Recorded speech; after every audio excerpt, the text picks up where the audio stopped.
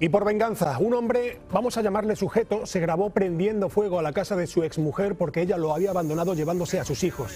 Esto ocurrió en Perú. El video muestra a ese perturbado amenazando a su expareja con incendiar la vivienda antes de abrir un balón de gas.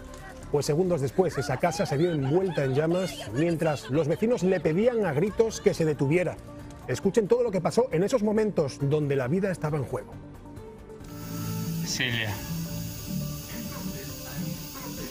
ven a recoger lo que queda de la casa. Mira la cama. Está rociado de gasolina. Estoy esperando que termine de salir el gas. Que yo ya no voy a estar para de la vida. No, vecino, no, ¿para qué no lo traigas? No, vecino, bótalo para allá, mi casa se va a quemar. Pues al parecer la mujer se fue de esa casa porque el sujeto la estaba maltratando al igual que a sus hijos. Recuerden, muy serio, eh, que ante la violencia doméstica denuncien, denuncien y tendrán todo el apoyo de las autoridades. Cero tolerancia.